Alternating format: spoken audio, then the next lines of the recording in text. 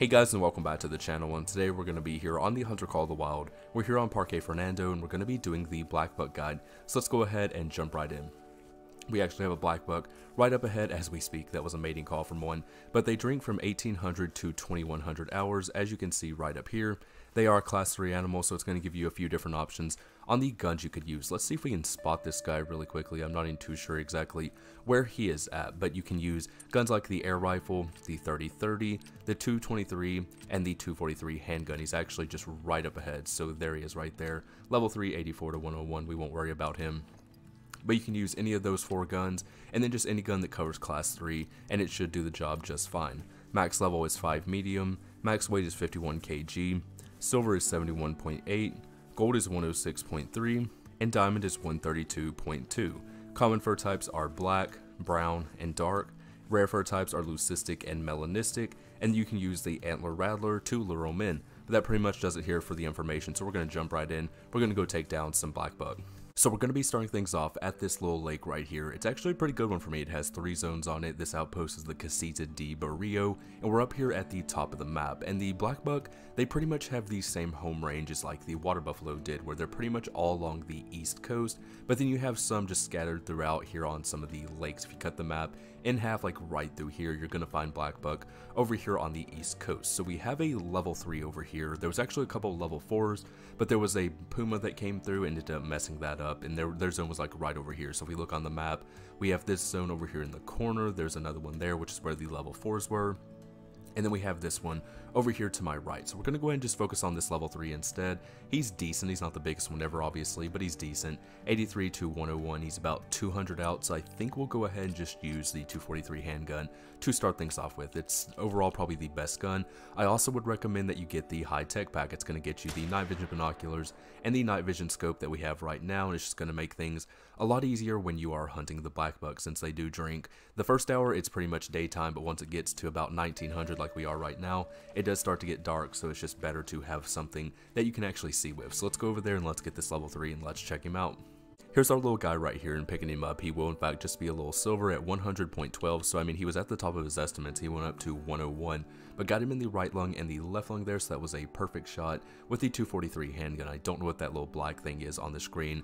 When I go to the x-ray view, I do not know what that is. But yeah, 101.12, gold is 106.35, so he is a big silver little black buck. And up ahead here, we have a big level 4, 113 to 131 for this guy's estimates. He is only one point below diamond there, and then we have this level 4 as well, 104 to 121. Now this one, the big one, isn't giving us a very good shot, unfortunately, so we might end up just going for the um, smaller one here. He is attentive right now. He's about 80 meters out, I think that says. I think we're going to use the air rifle here. Let's go ahead, let's use the air rifle, and let's take him down. So we'll go for something like that. Definitely hit him, and that is going to be fantastic. Now, we might be able to get this one as well. I'm going to go for that. Aimed a little high. Hopefully it was good, but chances are it probably wasn't. Probably didn't need to aim as high as I did. So can we get a follow-up potentially? I don't think we're going to be able to, so we're going to end up messing him up, seems like.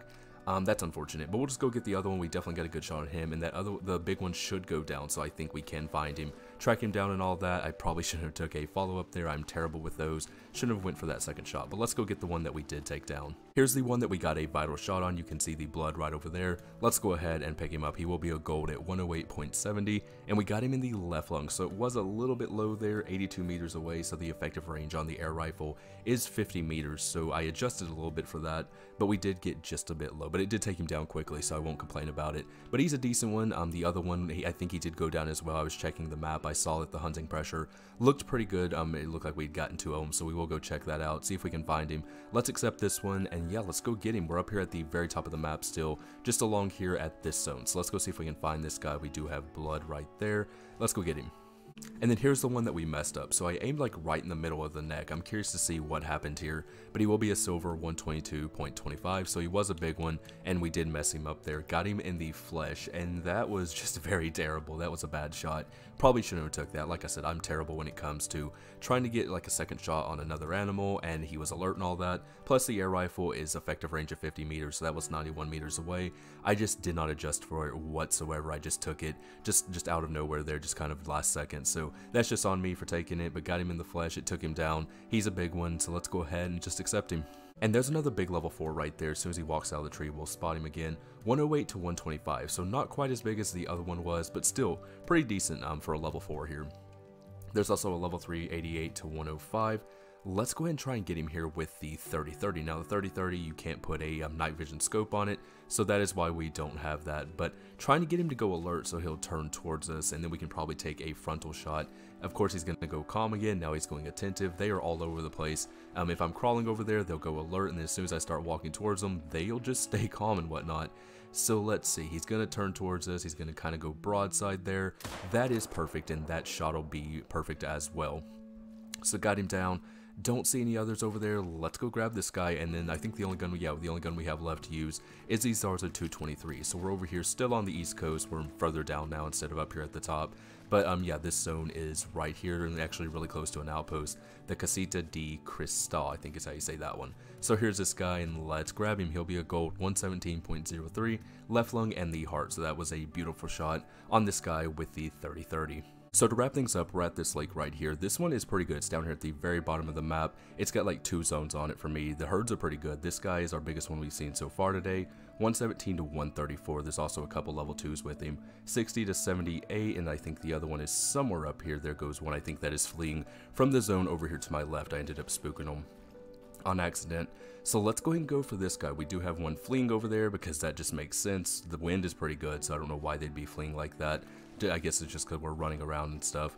But let's go ahead and try and get this guy. I want him to go alert. That's kind of why I was running around in the first place to see if I can get this one to go alert. But of course he wouldn't because that is just my luck. So we might be able to throw a shot over there with the air rifle. Um, it's not super loud, so it might just get their attention. And then we can potentially take him down. So there he goes. He is going to turn. Let's get the 223 out and let's try to get him here. So the female's kind of in the way. Let's take that shot, and that looked fantastic. Should have been into a single lung. The 223 might take him just a little bit to go down, but he is going to start dropping 50 to 75. It's just an underpowered gun, so let's go get him. And then finally, here's our big level 4. Let's pick this guy up. He's got a lot of curls going on right there. He'll be a gold 125.29. Got him in the right scapula and the right lung. So this guy, he was diamond potential like we said, diamonds 132. He went up to 134, but I did not expect him to be a diamond, obviously. But he's still a decent one, got him in the scapula and the right lung, a little bit high on that shot, but he got the job done just fine. So let's go ahead and accept him. Let's jump over to the map guide, I will show you where the zones are and all that good stuff. Here's the Parque Fernando Black Buck Guide, let's go ahead and take a look at it. So like I said in the video, they pretty much have the same home ranges like the Water Buffalo. You're going to find them all along the east coast, which happens to be the best area for them, and then on some of the lakes just on the right side as well. Pretty much if you cut the map in half, all the way through the middle, that's where you're going to find them is on the right side. But that's going to do it for this guide. I do hope it was helpful, and if it was, remember to like, subscribe, comment, do all that stuff. It really does help out the channel, and I will see you all in the next one. Bye bye.